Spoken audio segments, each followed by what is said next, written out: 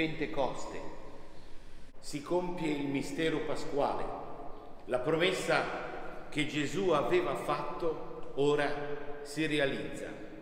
Lo Spirito Santo è il dono più grande, è la certezza di poter compiere le opere di Dio, di poter vivere in comunione con Lui, di vivere da Dio.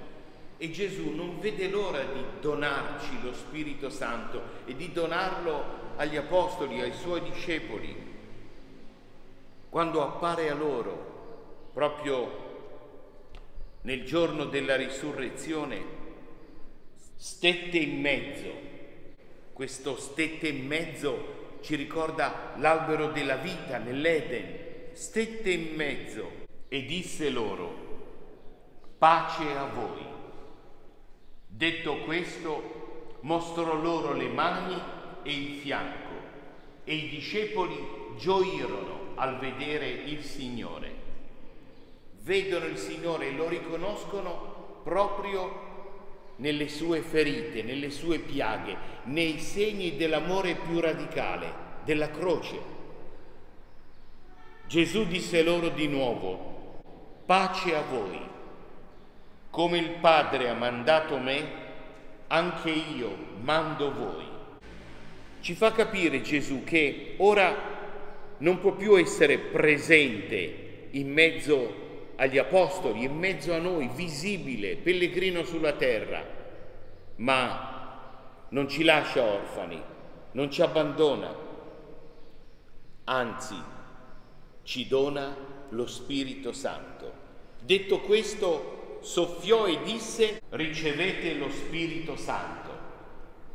A coloro a cui perdonerete i peccati saranno perdonati e con il dono dello Spirito Santo dona agli apostoli, ai discepoli, alla Chiesa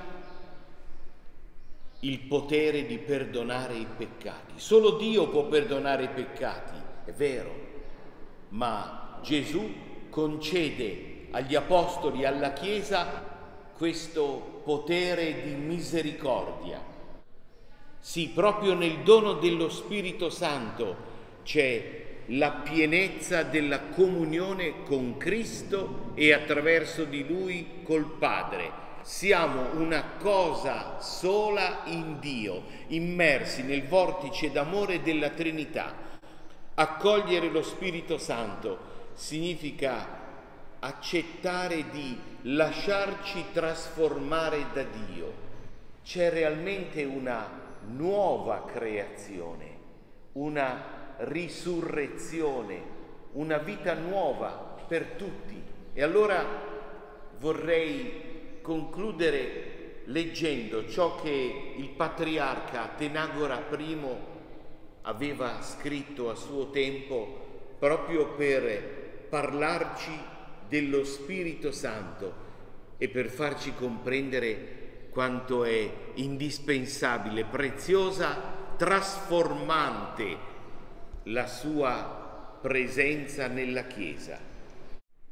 Tutto avviene per opera dello Spirito Santo. Senza lo Spirito Santo Dio è lontano, il Cristo resta nel passato, il Vangelo è lettera morta, la Chiesa una semplice organizzazione, l'autorità un dominio, la missione una propaganda, il culto una semplice evocazione, la condotta cristiana una morale da schiavi. Ma in lui il cosmo viene risollevato e geme nel travaglio del regno. Il Cristo risuscitato è vicino a noi il Vangelo diventa potenza di vita.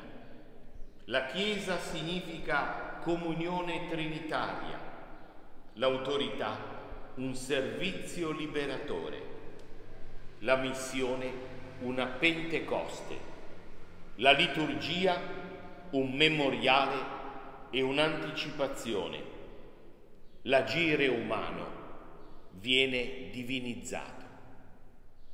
Ecco la Pentecoste, Ecco lo Spirito in noi. Ecco la vocazione a cui siamo chiamati. Per questo Dio ci ha creati, per essere uno col Padre, il Figlio e lo Spirito Santo. E che davvero questa domenica di Pentecoste, con la ricchezza della sua gioia nel dono dello Spirito Santo, diventi per tutti voi un'occasione speciale di unità, di fede e di speranza.